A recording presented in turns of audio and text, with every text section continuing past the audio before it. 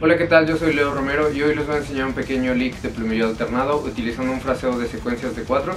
Todo esto utilizando dos escalas al mismo tiempo, que sería la escala menor melódica y la escala simétrica disminuida. Este lick les va a ayudar, como les había comentado, para su plumillo alternado y también para practicar todas las posiciones o la mayoría de las posiciones de estas dos escalas. Así que bueno, vamos a empezar.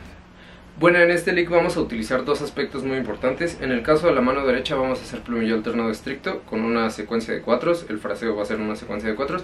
Y en la mano izquierda o en la parte de la armonía vamos a hacer dos escalas, escala menor melódica y escala simétrica disminuida. Entonces voy a empezar desde aquí.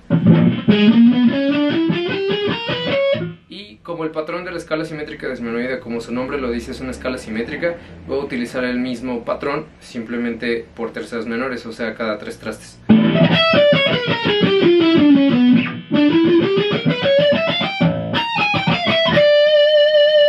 A partir de aquí yo ya empiezo a conectar la escala menor melódica, entonces todo esto empieza de esta manera.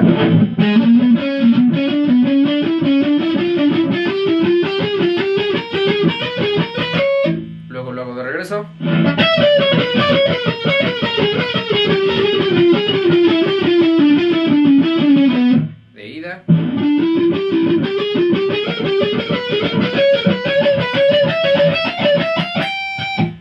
Partir de aquí yo ya empiezo a conectar la escala menor melódica.